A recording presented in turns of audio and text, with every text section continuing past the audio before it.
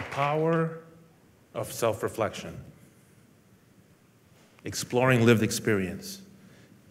There's a quote that comes to mind that just really displays this concept. It comes from John Dewey. He wrote, We do not learn from experience, we learn from reflecting on experience. And that's going to be the centerpiece of my talk today. You see, back in 2013, I was this hot-shot police detective assigned to the sex crimes unit. My job was to interview victims that have gone through very horrific things.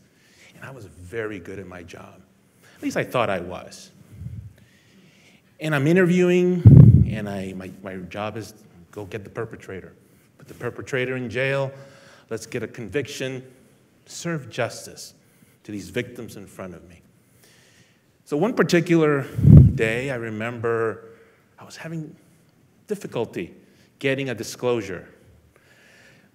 A woman sat in front of me with her victim advocate, and it took extra long, and I eventually got enough where I felt I could move forward with this case. And the victim left, and this very courageous victim advocate said something to me that changed my life forever.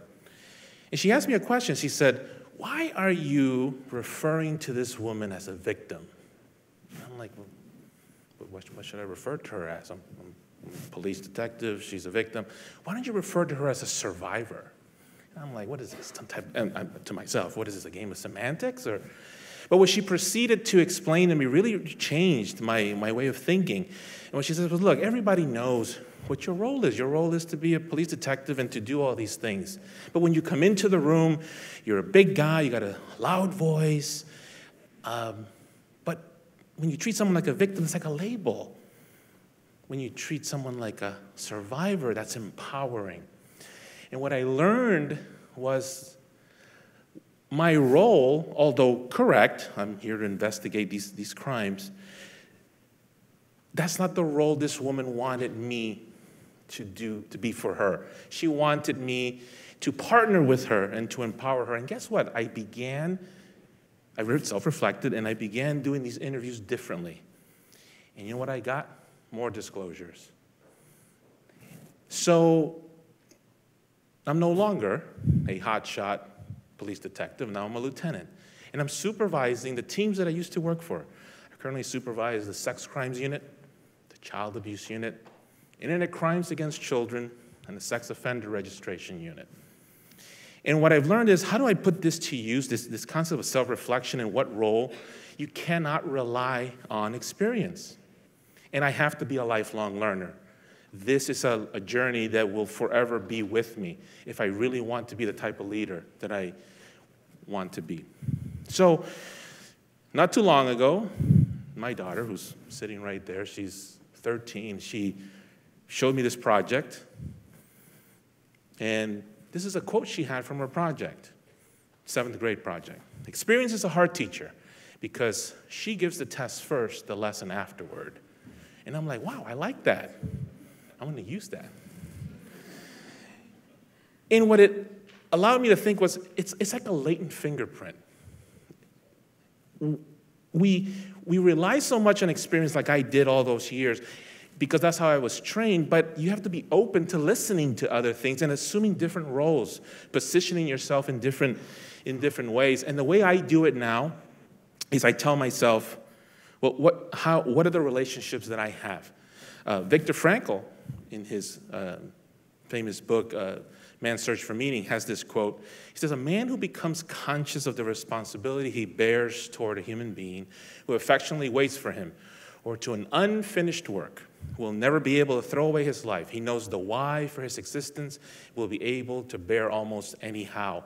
And while the context is different, he was in a concentration camp, it's about if you value those relationships and you want to do better in those relationships, then you have to constantly self reflect. You have to constantly self analyze. And you have to have a mind of inquiry instead of just advocacy. So, how does this work for me? Well, uh, I read a lot and I put to use a lot of what I, what I read. And I consider my roles. So, for example, when somebody brings a problem to me today, I know with my experience what I need to do. But I stop and pause. And I stop and pause and I reconsider my role. This is the process of the self reflection. My default setting is to be an advocate. I used to think that was the answer to everything. I just, I'm just going to be an advocate, assume the advocacy role until I came to the, this program here, the, uh, the MSCL program, and Ken Blanchard pulls me aside and tells me, as I'm crafting the, my leadership point of view, that it's, it's, it's more than that. You have to be able to partner with others to understand what your role is. And in my current work across the street, my PhD program in leadership studies at, at, the School of Leadership, this is a centerpiece to what we do. So let me go over just six roles that I assume um, every day, and I'll share a story that happened today, in fact. So I told you, advocacy is my default setting.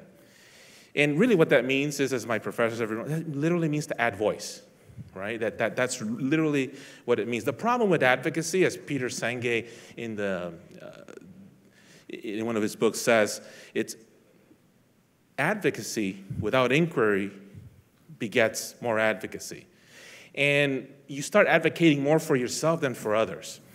So sometimes my role is not to be an advocate. Maybe those that come and bring a problem to me is to be an ally, to partner with them, to speak up about problems, but in partnership with others, where others know that I'm an ally to them. Maybe I just need to be an affiliate, affiliate with a cause, affiliate with a program, uh, almost like an MOU um, with, with other units, other, other concepts. But maybe sometimes I need to be an activist. Maybe I need to rally the troops. Maybe I need to recruit. Maybe I need to uh, maybe what somebody wants me to do is to uh, be the leader in, in, in, that cause. And here I've learned a lot about how to do that here at the University of San Diego. Maybe I should just be a mentor. Show me the way. But even greater, how about being a sponsor? I put my name to you. I sponsor you. I know I have power, so I sponsor you. So today, I had a young lady, a young hotshot detective, come to me. She's uh, of Southeastern, Southeast Asian descent. And she says, I'm, I'm conflicted because people want me to promote. They want me to promote to, to be a sergeant. I don't know if I'm ready, uh, but this is what I think I need to do. I want to try out. Maybe I can go and, uh, out and, and, try it out for a, uh, uh, a month or two and see if I like it. It'll give me. And she's telling me this whole story about what is her need and my immediate is what? I'm going to advocate for her. I believe in her.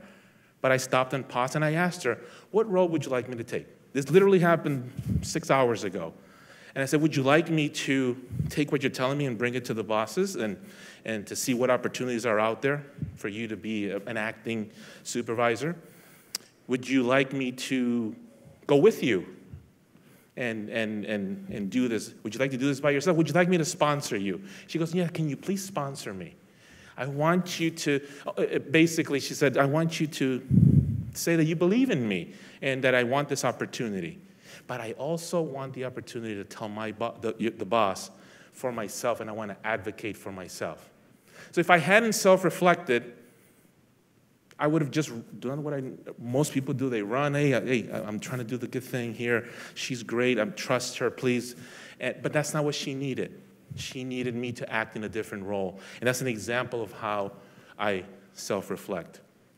The self reflection is a monologistic process and a dialogistic process. It needs both. It's not about just you talking to yourself, but you co creating this process with others. So, why don't we reposition, re- reframe the quote that I had earlier? What if we say instead of reflecting on experience is a much better teacher because she provides the lesson first for the test that is assuredly coming afterward? That is the lesson. That is how we prepare ourselves. But this, so I invite you to make this tool, this, this, this practice of self reflection, a a more prominent tool in your toolbox. Uh, as Maya Angelou once said, um, it's, people will forget what you did, people will forget what you said, but people will always remember how you made them feel. When you self reflect more, at least for me, what I've noticed is that people enjoy their time more around me, they feel more valued, and they never forget how I've made them feel.